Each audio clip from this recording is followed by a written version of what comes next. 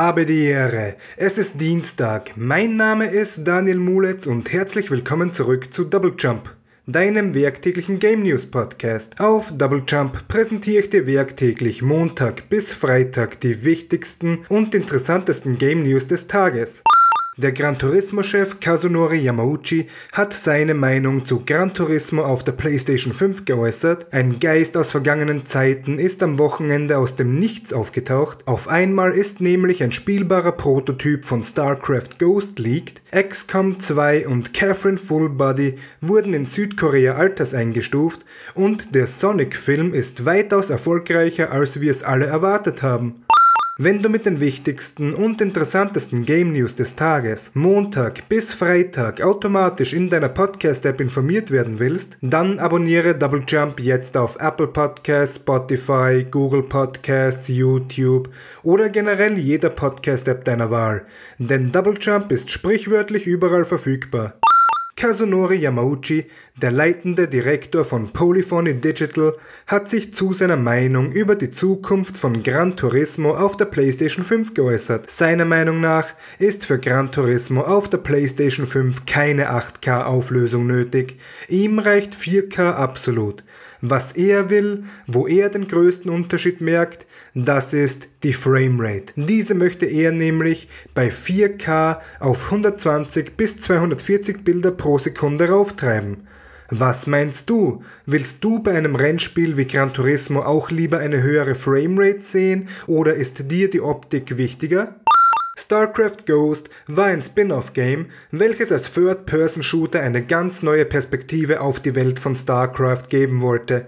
StarCraft Ghost wurde zum ersten Mal dann auf der Tokyo Game Show 2002 angekündigt, mit einem geplanten Release für Xbox, PlayStation 2 und Nintendos GameCube. Die Entwicklung des Games war dann von Anfang an von allen möglichen Problemen geplagt. 2006 daraus gehend dann pausiert und 2014 hatte der ehemalige Blizzard-Chef Mike Morhaime bestätigt, dass das Game einfach cancelled wurde. Jetzt wurde übers Wochenende dann bekannt, dass im Januar jemand auf YouTube ein HD-Video des unfertigen Games geleakt hat. Wer genau für den Leak verantwortlich ist, kann man aus dem Video nicht erschließen, aber der Leaker muss im Besitz eines Xbox Dev Kits sein, auf dem sich das Game noch befunden hat. Wenn ihr StarCraft mögt und interessiert seid zu sehen, was sein hätte können, schaut euch das Video dann am besten an. In der Episodenbeschreibung in deinem Podcast Player und in den Shownotes auf www.doublejump.at habe ich dir einen Artikel vom amerikanischen Magazin Kotaku verlinkt und dort kannst du dir das Video dann umgehend anschauen.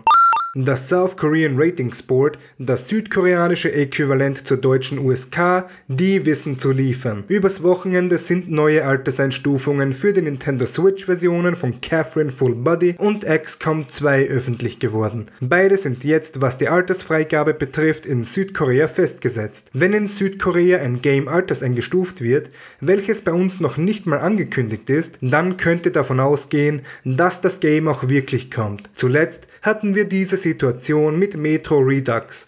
Das Game wurde Wochen bevor der Ankündigung in Korea bereits alterseingestuft und mittlerweile wurde es auch bei uns für Nintendo Switch angekündigt. Im Endeffekt aber sind diese Alterseinstufungen keine Indikatoren dafür, wann diese Games erscheinen, weil zum Beispiel damals mit Metro Redux wurde ja ebenfalls die Bioshock Collection eingestuft, aber dazu haben wir bis heute noch keine Ankündigung erhalten. Erscheinen werden die Games auf alle Fälle nur wann, damit sollten wir uns positiv überraschen lassen.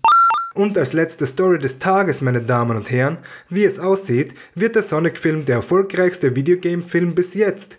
Die Verfilmung von Sonic the Hedgehog ist ja am Freitag zum Valentinstag bei uns und in den USA ins Kino gekommen. Für die USA haben wir jetzt bereits erste Kinodaten, denn in den USA hat der Film tatsächlich den erfolgreichsten Start einer Videospielverfilmung bis jetzt hingelegt. Jetzt, am ersten Wochenende, hat der Film in den USA bereits 57 Millionen US-Dollar eingenommen und das sind zweieinhalb Millionen mehr als Detective Pikachu im selben Wochenende. Das ist echt beeindruckend beeindruckend, wenn wir nur daran zurückdenken, was für einen grausamen Start der Film eigentlich hatte. Sonic sah im originalen ersten Trailer aus wie etwas, was der echte Sonic ausgekotzt hätte. Aber der Fanservice mit der kompletten Umgestaltung von Sonic, damit er mehr wie der Videogame-Charakter aussieht und dass das Marketing-Team auf die Sonic-Fans im Internet zugegangen ist, das scheint sich wirklich bezahlt gemacht zu haben. Ich habe den Film noch nicht gesehen, aber ich plane das im Laufe der Woche noch zu machen. Und du?